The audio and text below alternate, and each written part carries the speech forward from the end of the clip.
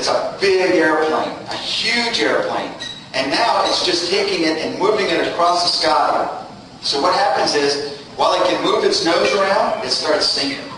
You know, the only chance you have against the Raptors, when he's in a turn and he's coming around the corner and you have an inexperienced guy, because the experienced guys know not to get there, but the inexperienced guy has got, and this is no shit, 28 degrees per second turn rate at 20,000 feet. The F-15 has an instantaneous of 21, a sustained of about 15 to 16 degrees. The Raptor can sustain 28 degrees.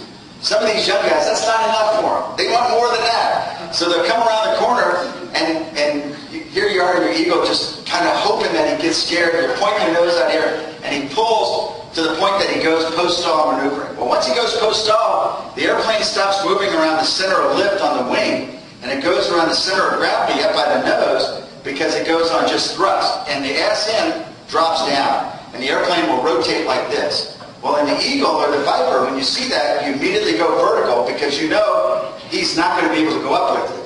And you have one fleeting opportunity against the Raptor, and that's it. Now, the real key is you never even get that close to the Raptor because you never see him, and he shoots you before you get there. The F-230, no problem. Big airplane, big radar cross-section. He's jinking and jiving just to get to the merge, but he's jamming. So yeah, your missiles aren't working, so you get to this visual fight. Well, you roll in on him, and he's got about 22 degrees, 23 degrees per second sustained turn. Nowhere near the Raptor.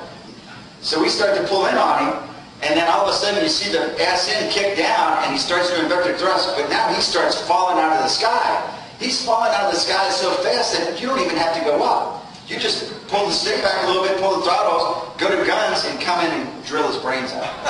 And while on paper, he has vector thrust, he has all these great weapons and everything. He looks the same as a Raptor. He's nowhere near the same as a Raptor. So that was a really good thing for us to find out that we really didn't know until this past exercise happened. We also had the French up here in the Rafale. The French were only going to bring out the Mirage 2000-5, which is one of their older airplanes, until the Indians said they were bringing their newest thing, the Su-30. And then the French all of a sudden said, hey, we, we, we're going to bring in the Rafale. And we go, well, you've never brought that to the States before. And they go, yeah, we're bringing it now. And they brought it out, and 90% of the time they followed the Indians in. And when the Indians shot or got shot or whatever, the French took a shot and left. And they never really came to any merges, um, which anybody that flew with them in Iraq during Desert Storm or during any of the peacekeeping missions know what they would do is when the Americans would go and do the peacekeeping act up north, they would stay over Bagram and or uh, Bahrain and uh, uh, down at uh, Al's Garage and fly local sorties and uh, say, yeah, we're participating in the war. What they were really doing is they had all their sensors on, sniffing and seeing how our radars worked. Came out and they watched the whole fight with their newest airplane and their newest electronic receiving units and sucked up all the trons in the air.